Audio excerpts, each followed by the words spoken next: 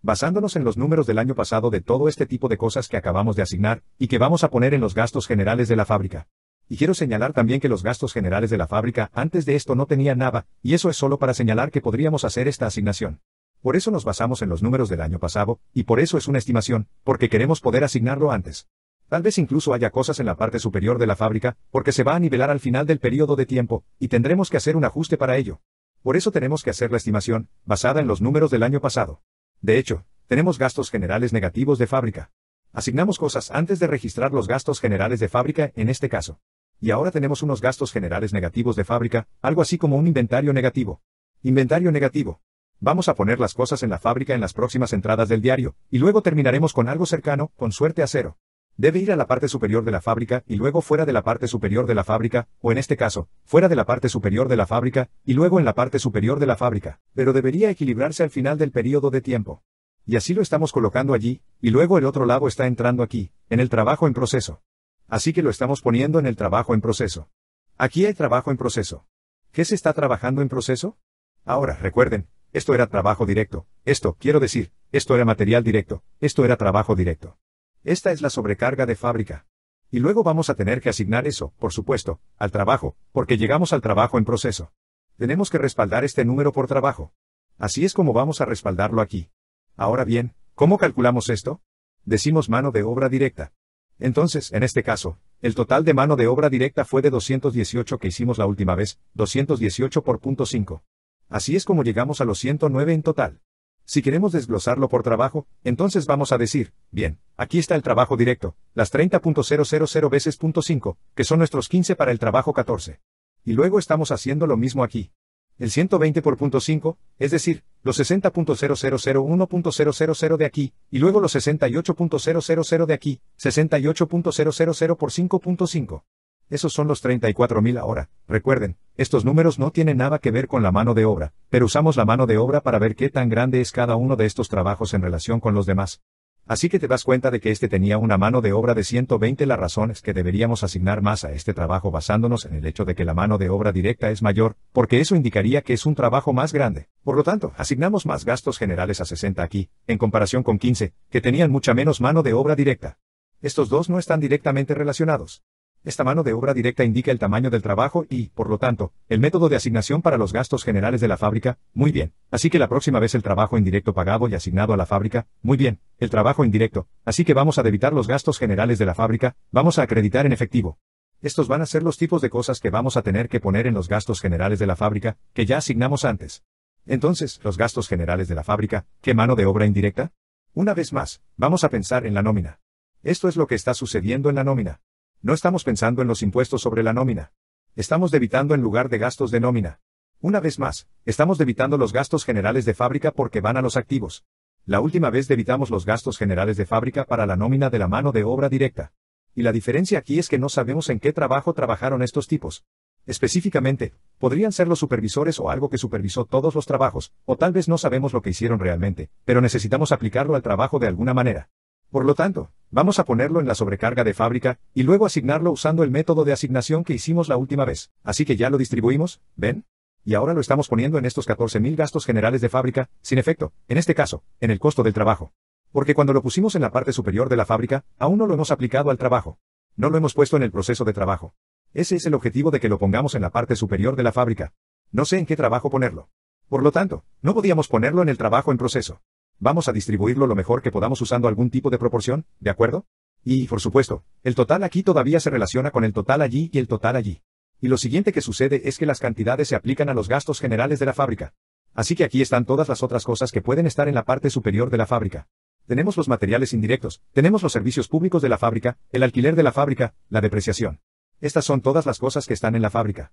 Cada vez que algo dice en la fábrica, eso significa que va a entrar en el inventario. Eso es parte del proceso de inventario. Y o bien podemos aplicarlo directamente al trabajo, lo que significa que ponemos el trabajo en proceso, o no podemos, en este caso, por lo que va a parar a los gastos generales de la fábrica. Por lo tanto, las entradas del diario relacionadas con esto, serían materiales. Vamos a debitar los gastos generales de fábrica de los 14.000, lo siento, los gastos generales de fábrica de los 30.000 que son este artículo de aquí, porque hicimos los 14 la última vez. Y luego vamos a acreditar el inventario de materias primas. Está saliendo de las materias primas de aquí. Y nosotros también podemos. ¿Ves eso ahí mismo? De acuerdo. Y estas van a ser cosas que no podríamos aplicar directamente con pegamento o algo así, tipos de material que no podríamos aplicar directamente al trabajo.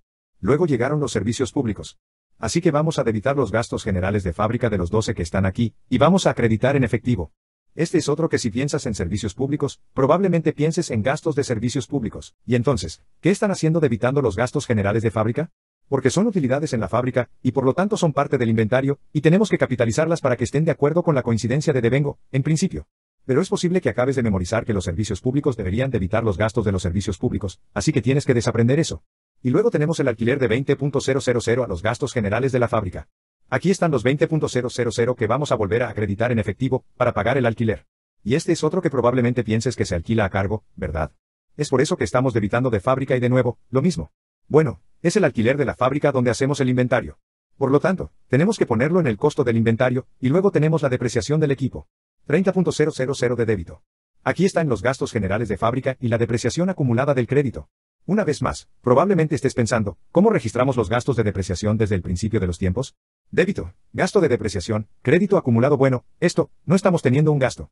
Lo estamos poniendo en los gastos generales de la fábrica porque es una depreciación de la fábrica. Así que recuerde, ya asignamos fuera de la fábrica. Este 109 esto es todo lo que asignamos aquí. Y así, el 109 menos todos los débitos, significa que estamos fuera de nuestra asignación, estaba desequilibrada para el 3000, eso está bien, eso es una estimación. Vamos a tener que lidiar con eso, aunque al final aquí. Muy bien. Ahora transferimos los trabajos del trabajo en curso a la finalización. Bien. Así que ahora tenemos trabajo en proceso aquí, el 260 al que vamos hemos terminado con algunas de esas cosas, así que vamos a sacarlo de allí y ponerlo en los productos terminados. Así que aquí está nuestro costo de trabajo. Así que saltamos. Transferimos 14 y 15. Así que aquí hay 14, aquí hay 15. Vamos a decir que ya no está abierto. Ahora está cerrado. Ahora está cerrado. Entonces, si sacamos la calculadora aquí, vamos a decir que los dos trabajos que tenemos son estos 186 mil más los 314 mil, esos se asignaron de 500 mil a esos se asignan de lo que queda, solo la cuenta amarilla de 262, 60. Eso es lo que va a quedar en el trabajo, en proceso. Esto y esto se van a asignar a los 500. ¿Cómo lo hacemos? Con una entrada en el diario. Vamos a debitar los productos terminados 500.000 poniéndolos en 500, y los vamos a sacar del trabajo en proceso. Si nos fijamos en la cuenta del libro mayor, ¿qué está pasando? Va a los productos terminados, débito a los productos terminados, 500.000 de ahí, es de donde salió este número. El crédito del trabajo en proceso estaba en 760.000 menos el crédito de 500 lo lleva a 260, están los 260, estos necesitan ser respaldados por el informe de costos del trabajo, ya que están aquí. Muy bien, así que todavía estamos atados allí. Y el próximo artículo ahora lo vamos a vender. Así que ahora tenemos cosas en productos terminados, y vamos a venderlas, lo que significa que se van a mover al costo de los bienes vendidos. Ahora, lo confuso es que cuando vendemos algo, vendimos el trabajo 14, y nos dan un precio de venta. Cuando pensamos en el sistema de costos de trabajo, el precio de venta en realidad puede desconcertarnos, porque no hemos estado pensando en el precio de venta en absoluto. Hemos estado pensando en el costo. Pensando en el costo todo el camino a través de esto. El precio de venta no tiene nada que ver con nuestro informe de costos de trabajo. Es posible que hayamos llegado al precio de venta utilizando el informe de costos del trabajo, pero el libro generalmente nos dará un precio de venta y vamos a registrar la misma entrada en el diario que si fuera solo una empresa de servicios, o al menos la primera mitad del mismo va a ser el mismo significado que vamos a debitar, en este caso, el efectivo 380 y vamos a las ventas a crédito. Así que solo tenemos 380.000 en efectivo. Vamos a acreditar las ventas. Ahora, ¿se nos ocurriría un 380 que el libro va a tener que darle? Hicimos algún tipo de marcado. Nosotros no, no nos dijeron eso, no. Llegamos a calcular el precio de venta. Lo que sí sabemos, sin embargo, es que el trabajo 14 se vendió. Aquí está el trabajo 14. Ya no está cerrado, se envía, se va, se sale, y tenía un costo de 186. ¿Qué va a pasar con estos productos terminados? Vamos a tener que renunciar a acreditar el 186 y tenemos que ponerlo en el costo de los bienes vendidos. Así que vamos a debitar el costo de los bienes vendidos, el gasto relacionado con el activo que vendimos. Y vamos a acreditar los productos terminados, quitándolos de los productos terminados. Entonces, en términos de nuestras cuentas de activos, los productos terminados van a pasar de los 500 a los 186 a los 314, así que aquí está el 314, aquí está el 314 aquí. Y, por supuesto, aquí va a estar el 314 aquí, representado por el trabajo que se ha cerrado pero que aún no se ha enviado. Va a estar en los productos terminados. Entonces, recapitulamos esto, entonces podríamos ver que los 260.260.000 estarán en el costo del trabajo que representa el trabajo que aún está abierto, el trabajo que estamos representando con el artículo amarillo, todavía estará abierto, todavía en el costo del trabajo que es. Copia de seguridad de la cuenta de trabajo en curso. Ahora, el sistema de costos de trabajo también va a tener trabajos que se han completado y han pasado por el proceso. Así que tenemos este trabajo 15 que se ha cerrado pero aún no se ha enviado, se ha enviado. Ese va a ser el 314, eso es lo que va a estar en los productos terminados aquí. Eso está en los productos terminados, y eso está en los productos terminados en el balance de prueba. Y luego, por supuesto, tenemos el trabajo que se ha enviado. Así que este trabajo ha sido completado, ha sido enviado. Lo hemos representado resaltando el área enviado. Esos van a ser los 186 mil, y eso va a ser lo que representa el costo de los bienes vendidos en este momento, porque se ha enviado y, por lo tanto, se ha gastado. De acuerdo. Entonces tenemos la última pieza. Tenemos el ajuste por los gastos generales de fábrica subestimados o sobreapreciados. Entonces, ¿de qué estamos hablando aquí? Y estamos analizando los gastos generales de fábrica. ¿Recuerdas la última vez que nos quedamos con este crédito de 3.000 en gastos generales de fábrica?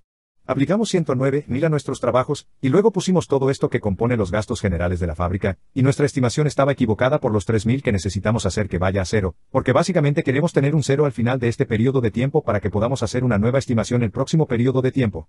Así que tenemos que hacer que eso sea cero. Entonces, ¿cómo hacemos que sea cero? Eso es un mérito. Por lo tanto, vamos a hacer lo contrario y de evitarlo, haciendo que baje. ¿Dónde vamos a poner el otro lado? Lo más fácil de hacer es ponerlo en el costo de los bienes vendidos, acreditando el costo de los bienes vendidos. Ahora, podrías estar diciendo, bueno, eso es un poco gracioso, porque el costo de los bienes vendidos es un saldo deudor de una cuenta costosa. ¿Por qué estaríamos acreditándolo? Normalmente no acreditamos el costo de los bienes vendidos, y la razón es porque es una cantidad pequeña, con suerte es en material. Estamos haciendo esto porque la estimación estaba equivocada. Va a estar mal porque es una estimación y tenemos que bajarlo a alguna parte. Si está en el material, entonces llevarlo al costo de los bienes vendidos es lo más fácil de hacer, porque el costo de los bienes vendidos es algo que luego se cerrará a las ganancias retenidas. A diferencia de algunas de las cuentas permanentes, todas las cuentas permanentes que no se cerrarían. Por lo tanto, una vez que se cierre a las ganancias retenidas, desaparecerá, y eso nos permitirá básicamente hacer una nueva estimación la próxima vez desde cero, desde un nuevo comienzo. Así que esa va a ser la idea. Ahora, si fue significativo, si es una gran cantidad, entonces es posible que tengamos que hacer algo más. Pero si es insignificante, es decir, no va a afectar nuestra toma de decisiones, entonces parecería apropiado ponerlo al costo para que se venda, ya que es lo más fácil de hacer. También hay que tener en cuenta que si nos hemos ido en sentido contrario, lo que significa que terminamos con un débito de, como, 3.000, haríamos lo mismo. Lograríamos que se llegara a cero. Vamos a hacer lo que tengamos que hacer para que llegue a cero. Y en este caso, sería que sería un crédito para hacerlo llegar a cero. Y luego debitaríamos el costo de los bienes vendidos, una vez más, haciendo lo que tengamos que hacer para que llegue a cero, siempre y cuando sea una cantidad inmaterial, sin efecto en el sistema de costos laborales. De estos, todavía tenemos el 260 atado al 260 debido a los gastos generales de fábrica. Solo estamos lidiando con los gastos generales de la fábrica, no con el trabajo en proceso, no con los productos terminados en ese momento.